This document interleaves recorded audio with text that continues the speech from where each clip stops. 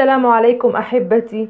اليوم إن شاء الله راح أقدم لكم فيديو مميز وخاص وحصري عن برنامج الذكاء العقلي وهو برنامج الحساب الذهني سروبان وله عدة مسميات ومنها الأباكوس والمعداد الياباني وهو من الثقافة اليابانية. ومتقن الحساب بالسروبان بيقدر ينجز عمليات حسابية كبيرة وفي ثواني معدودة. وهذا البرنامج بيشمل على العديد من الأساليب المفيدة اللي بتنمي القدرات العقلية وبتحدث تطورا شامل للعقل وبتفعل الجزء الخامل منه. بالتالي راح يأثر على نتائج التلميذ في جميع المواد. وقبل ما بدي أتعمق بشرح فوائد السروبان بدي أعرض لكم هالشي. وهو عبارة عن نموذج بسيط بيشرح فكرة وأهداف السروبان.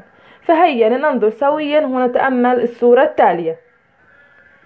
هذه الصورة تمثل المعرفة. فشو يعني المعرفة؟ المعرفة هي الإدراك والوعي وفهم الحقائق عن طريق العقل المجرد أو بطريقة اكتساب المعلومات. بمعنى آخر إن الكتب المدرسية بتشمل على عدة معارف. فكون إنه الطفل أتقن وحفظ هاي المعارف فبهيك بيكون أنجز المرحلة الأولى فقط من التعليم. طيب لنشوف النموذج الثاني. الآن تطورت الصورة وأصبحت تمثل خبرة.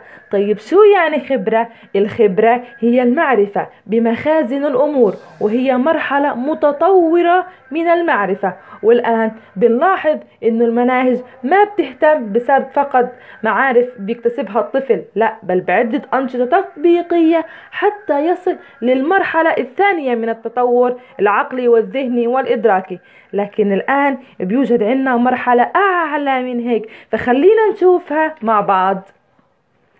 الإبداع. شو يعني الإبداع؟ الإبداع هي إعادة تقديم المعرفة أو الشيء القديم بصورة جديدة والقدرة على تكوين وإنشاء شيء جديد واستعمال الخيال لتطوير وتكيف المعارف. طيب بتعتقدوا هيك بنكون خلصنا لما وصلنا لمرحلة الإبداع؟ طبعا لا. شوفوا معي الصورة الأخيرة. آها الحكمة. فما هي الحكمة؟ الحكمة هي مزيج من المعرفة والخبرة والفهم العميق والذكاء والإبداع للوصول لمرحلة شمولية لكل الخبرات الإنسانية اللي بمر فيها الطالب. وبهيك بيقدر الطالب يحقق توازن ما بين الذات والعلاقات الشخصية والتكيف مع البيئة المحيطة. إذا أعتقد إنه الفكرة الآن أصبحت واضحة واللي بتعتقد إنه ابنها حفظ المنهج هو بهيك حصل فقط على معلومات عالية وتقدير عالي يعني وصل للمرحلة الأولى فقط من المعرفة. والآن إحنا مناهجنا بتهدف لتحقيق مراحل أعلى ولهذا السبب يلي بتهتم وحريصة على تنمية قدرات ابنها فهي قادرة إنها توصله لمرحلة إكساب الخبرة. وإحنا الآن بدنا نعمل على مساعدتها وإرشاد أبنائنا للوصول لمرحلة الإبداع والحكمة. ولذلك برنامج الذكاء الذهني سروبان من أحد الأساليب والطرق اللي بتعمل على تحقيق هاي الأهداف. ولأني أنا ما بدي ابني يكون حافظ معارف لا أنا بدي إياه وأساعده لإكساب مهارات عليا يستطيع من خلالها تحقيق ذاته وشق حياته بكل جوانبها. فالآن هيا معا للتسجيل ببرنامج علمني السروبان للحساب الذهني وتنمية الذكاء والمهارات. ولتعلم السروبان فوائد كبيرة على المدى القصير والبعيد.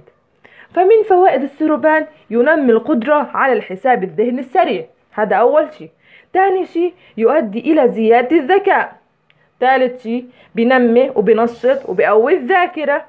رابع شيء بنمي مهارات الإدراك والفهم. خامس شيء بنمي الطاقة الإبداعية والمهارات الحياتية والتخيل التخيلية والتحليلية.